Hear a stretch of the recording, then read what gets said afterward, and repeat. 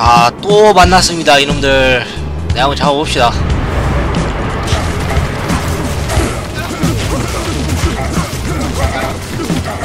발키리랑 싸우는 애 치고 공격해야겠다. 오, 오히려 더 쉽게 잡아요. 됐어. 자, 잡자.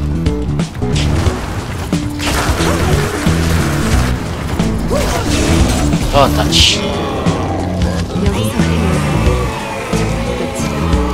저는 이제 지옥 난이도 플레이가 가능합니다 이제 근데 보통 난이도에서 초기화를 한번 해볼 거예요 과감하게 싹 벗어 제낍니다 뭐요? 다발 마스터 했고 흡사 마스터 하고 그냥 다발 사격을 한번 써볼게요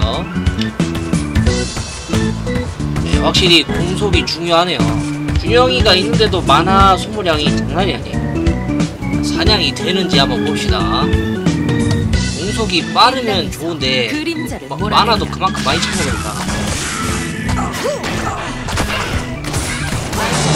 와 조졌다. 이거 명중률 입구에다가 만화가 감당이 안 되네. 명중률 때문에 딜 딜이. 와 이거 안 박히는 거 봐.